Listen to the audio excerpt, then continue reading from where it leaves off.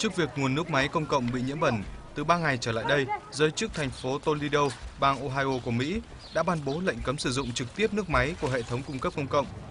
Trong ngày 4 tháng 8, chính quyền thành phố cho biết lệnh cấm trên sẽ được dỡ bỏ trong ngày sau khi những cơ quan chức năng tiến hành thêm cuộc kiểm tra chất lượng nước máy.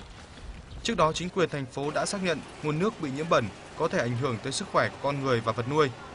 Lệnh cấm đã ảnh hưởng tới sinh hoạt của khoảng 500.000 người dân trong thành phố Toledo, vùng phụ cận và một số khu vực ở đông nam bang Michigan.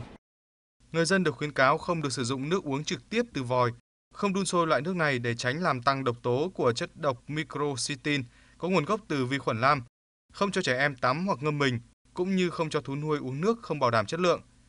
Trong khi đó, các binh sĩ thuộc lực lượng vệ binh quốc gia được điều động phân phát nước đóng chai và nước sạch tới người dân. Tảo xanh ở phía đông hồ Erie, nguồn cung cấp nước ngọt chính cho Toledo, được coi là thủ phạm khiến nguồn nước nhiễm bẩn. Loại tảo này phát triển mạnh là do hoạt động sử dụng phân bón hóa học có chứa phốt pho và nitơ ở các nông trang trong vùng. Theo các nhân viên y tế, chất độc này có thể gây buồn nôn, tiêu chảy, nôn mửa và ảnh hưởng tới chức năng của gan.